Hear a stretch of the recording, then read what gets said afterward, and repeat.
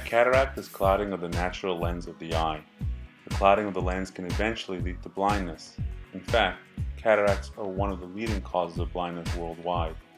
However, with a short but highly delicate procedure, blindness from cataracts can be cured. Here we have a patient with a very dense white cataract.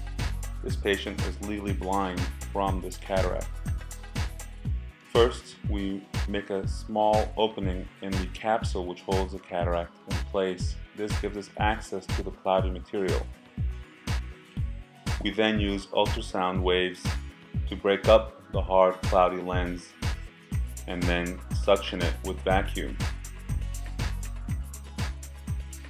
The eye is numb and the patient is awake and comfortable.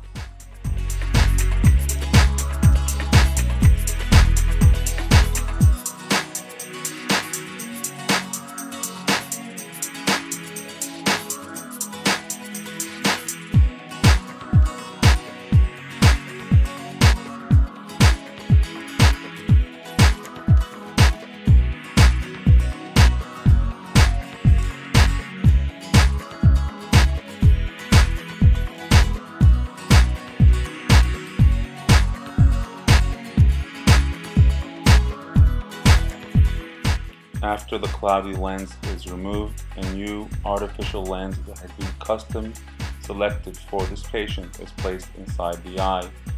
The new lens is placed inside the same capsular bag that held the original cloudy lens.